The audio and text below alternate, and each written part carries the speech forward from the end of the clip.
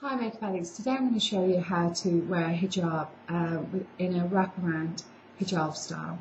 Um, I don't know exactly what it's called because I'm not very familiar about hijab style names, um, but this is the one I wore in my uh, previous video um, where I was talking about my February March faves and a lot of you requested um, how to wear that look. So um, I'll show you now. It's really really simple and it's very similar to uh, a previous video that I did except that it's um, towards the end it will be slightly more different.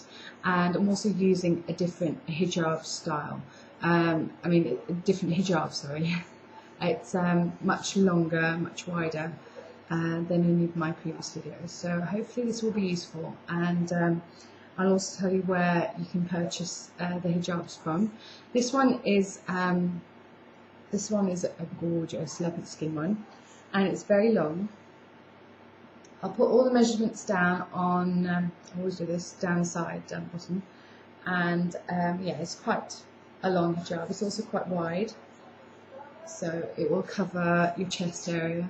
Um, this one is from pearldaisy.com. I will post the link on the side. You can purchase um, caps from them. You can also purchase hijabs and brooches from them. A really good site, so definitely worth a check.